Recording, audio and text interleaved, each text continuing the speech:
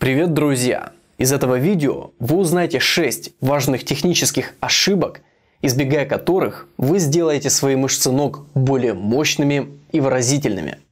Это как особенности, касающиеся тренировки всего низа тела, так и нюансы для отдельных упражнений. Начинаем! Есть одна тонкость касаемо того, как нужно держать колени в упражнениях на ноги. Это положение на одной оси с носками. Говоря просто, направление коленей и носков должно полностью совпадать.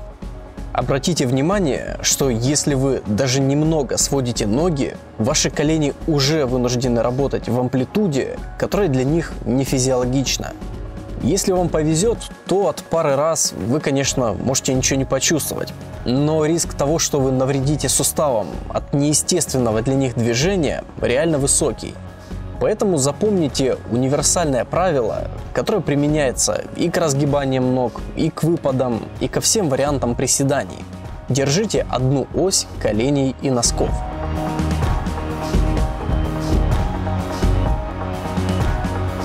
Следующий момент касается отдельного вида приседаний, а конкретно в тренажере Смита.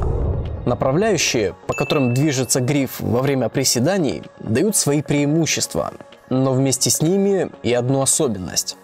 В отличие от классического варианта, приседая в Смита, вы можете вывести стопы вперед.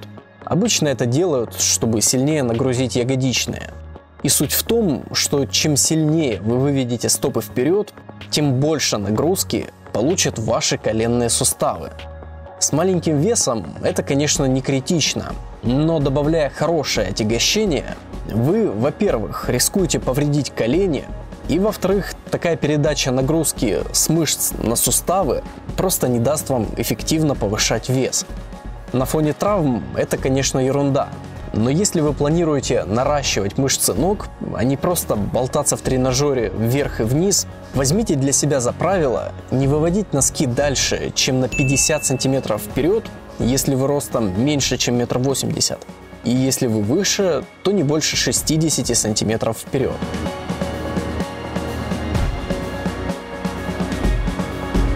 Скорее всего, вы слышали, что лучшая альтернатива приседаниям – это жим платформы. Главная ситуация, когда этим упражнением нужно заменить приседание, это проблемы с позвоночником. После этого вы можете сесть в тренажер и расслабиться с мыслью, что ваша спина в безопасности. И это ошибка. По факту, используя большие веса в жиме платформы и приподнимая таз, вы рискуете нанести вред пояснице не меньше, чем могли бы это сделать в приседаниях.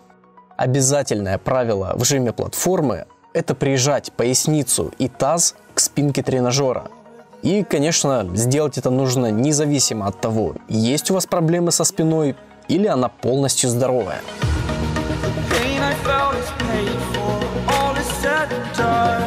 Скорее всего, я угадаю, если скажу, что вы делаете в день ног разгибание сидя.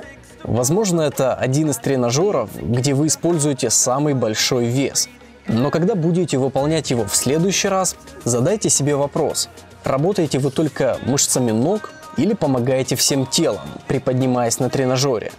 Если поднимаетесь, то это первый признак того, что вес для вас большой.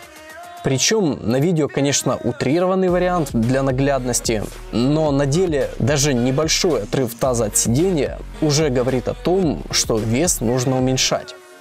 Второй признак перебора с весом – это раскачивание корпуса.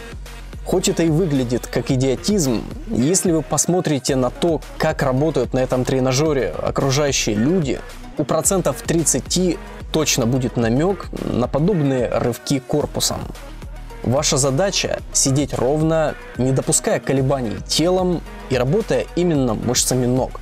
От вашей фокусировки на включении квадрицепсов зависит не только безопасность, но и ваш прогресс.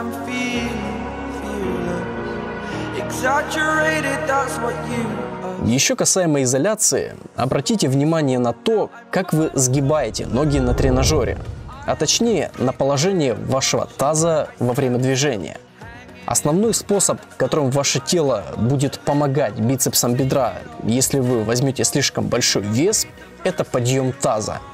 Если вы замечаете, что ваша пятая точка тянется к потолку в фазе сокращения, уменьшайте вес. В правильном варианте таз будет полностью лежать на скамье, не подкручиваясь и не приподнимаясь. Если вы задали себе вопрос, какие мышцы тогда помогают в движении, ответ – это разгибатели позвоночника. Напрягаясь, они стянут две точки крепления и поднимут таз. И это бы ничего, если бы не ломающая нагрузка, которую в этот момент получает ваша поясница. Кстати, дискомфорт в поясничном отделе после тренировки – это первый сигнал о том, что нужно проконтролировать вашу технику. Первый способ – попросить об этом друга, напарника или тренера, а другим – самостоятельным. Мы подытожим следующий пункт.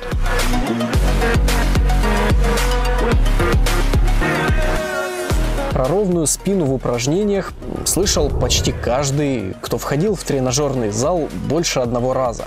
Поэтому я не буду тратить ваше время. Тем более все становится понятным, если вы посмотрите на примеры биомеханики – Скажу только, что эту ошибку можно допустить почти в любом упражнении, которое выполняется стоя. Поэтому будьте внимательны и всегда держите спину прямой. И напоследок у меня есть для вас одно предложение. В следующий раз, когда вы будете тренироваться, поставьте рядом камеру и снимите то, как вы выполняете упражнение сбоку – Проверьте, как выглядит со стороны ваша спина в приседаниях, становой или, например, тяге в наклоне. То, что вы увидите, может оказаться для вас сюрпризом.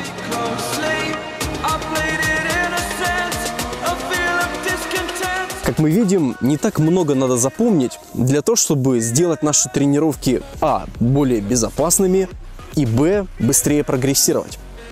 Если вы почерпнули для себя из этого видео новую информацию или напомнили для себя о чем-то, что считаете важным в тренировках, то оцените его и поставьте ему лайк хотя бы за то, что я немного пожертвовал своими коленями и поясницей для того, чтобы показать вам более наглядно ошибки в упражнениях.